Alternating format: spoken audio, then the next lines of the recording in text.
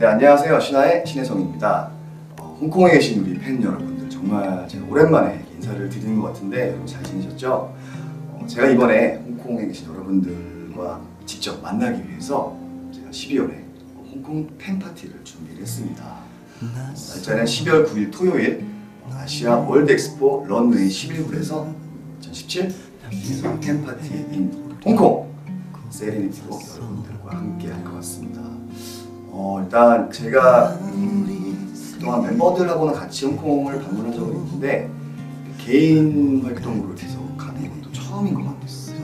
뭔가 좀 더 설레기도 하고 오랜만에 또 가는 홍콩이라 너무너무 기대가 되고 여러분 빨리 빨리 보고 싶으니까요.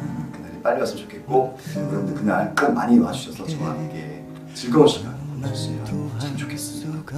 꼭 여러분 12월 9일날 네, 만나고 싶네요. 네. 그러면 그때 봐요 여러분. 인사드릴게요. 안녕.